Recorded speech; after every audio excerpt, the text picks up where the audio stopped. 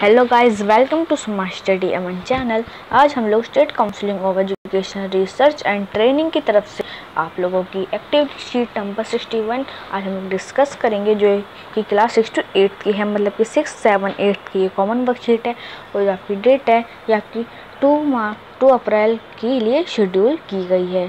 तो यहाँ पे आप अपने टीच अपना नाम लिख लेंगे, यहाँ पे अपने टीचर का नाम लिख लेंगे। तो देखिए रीडिंग इंट्रक्शन ऑफ़ स्टूडेंट से हमने बहुत बार हम जब हम इसको क्या होता है कि हमें लेट्स योर वॉज़ हमें बिल्कुल उस तरह से पढ़ना होता है जैसे उस करेक्टर ने पढ़ा हो। हमें इसको बहुत जल्दी नहीं पढ़ना होता है ना। तो चलिए देखते हैं आज की वर्कशीट क्या दिया गया है? The proud rose it's it was the spring season there are beautiful red rose plant in a garden क्या एक बहुत अच्छा सा एक सीज़न था जिसमें एक ब्यूटीफुल रेड रोज़ का प्लांट था एक गार्डन में। One rose flower on the plant was proud of is beauty बल्कि एक जो उसका जो, एक वन रोज़ फ्लावर था ऑन द वो अच्छा था। However it disappoint disappointed it was growing next to an ugly cactus which looked dull dry and thorny यहाँ पे क्या कह रहे हैं? फिर उसके अगले दिन एक अगली सा मतलब कि एक कैप्टस का जो पेड़ है, वो वहाँ पे बोल निकलता है, जैसे यहाँ पे आपको फ़ोटो में दिखाई भी गया मैं तो जूम कर देता हूँ, जिससे आपको अच्छे दिखाई दे। ये देखो गाइस यहाँ पे जो इसका जैसे, यहाँ पे फूल था उसके वहीं पे कैप्टस का पेड़ भी फिर निकलता है। फिर every day the rose would instruct the cactus about it too but cactus stay quiet जैसे वो हिलते ढुलते हैं ना, जैसे जैसे जब हवा चलती थी तो जैसे उनके जो पेड़, जैसे रोज़ के जो हिलते थे हवा से, लेकिन कैप्टस बिल्कुल शांत रहता देखो उसमें लिखा क्योंकि स्टे क्वाइट खड़ा रहता था, बस ऐसे क्योंकि हम हिलता नहीं ना वो।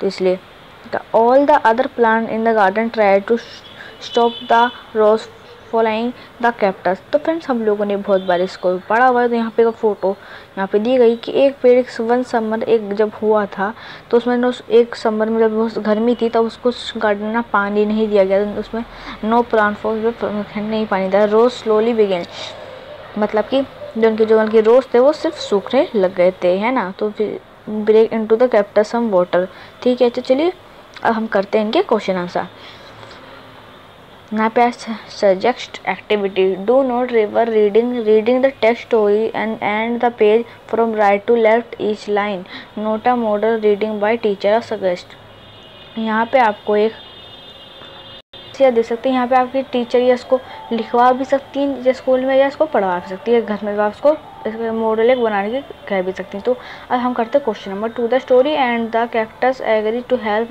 rose flower do not think there could another and to story at your on to of the rewrite the story in your words यहाँ पे क्या होता है, जब कहानी ख़त्म हो रही तो वो एक जो कैरेक्टर था, वो फ्लावर उनके रोज फ्लावर की हेल्प करता है। है ना उसका उसका तो वो एंड हो जाती है स्टोरी बट हमें उसमें एक ट्विस्ट लाना है बल्कि हमें इसको एक बार और अच्छे से और कुछ ट्विस्ट के साथ इसमें लिखना है। चलिए करते हैं क्वेश्चन नंबर टू का आंसर तो गाइस ये हमारा इसका क्वेश्चन नंबर टू का answer it is very spring there were very beautiful flower in a garden there was a rose flower which was very proud of her beauty. It was all said because of the cactus plant with him due to which is felt it result, result it. Used to tease and cactus for its looks. तो आप इस तरह से हमारा question number two का answer कर लेंगे। चलिए करते हैं question number three.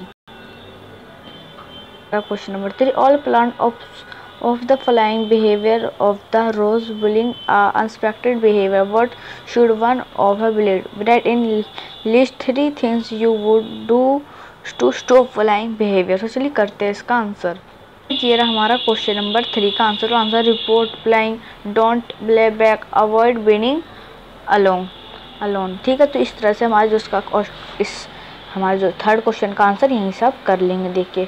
तो हमारी आज की जो वर्कशीट हो यहीं पे समाप्त होती है। आज की वीडियो में बस इतना ही।